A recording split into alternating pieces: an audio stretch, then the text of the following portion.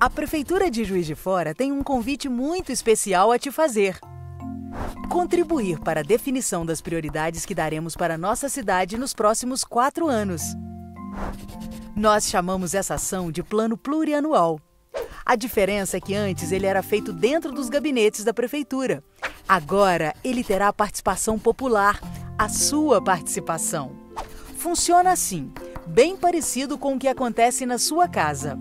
Na sua vida, você decide o que é prioridade para gastar dentro do seu orçamento, não é?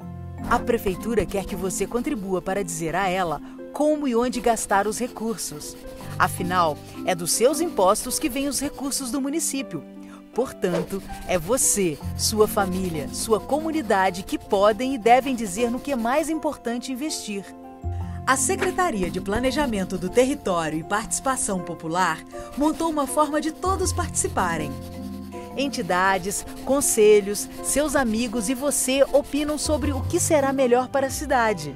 Dessa contribuição surge uma primeira versão do documento. Depois ele vai para a Câmara Municipal. Os vereadores também opinam. A versão final vem para a Prefeitura. E assim vamos ter uma gestão onde todos e todas decidem o que é melhor para Juiz de Fora.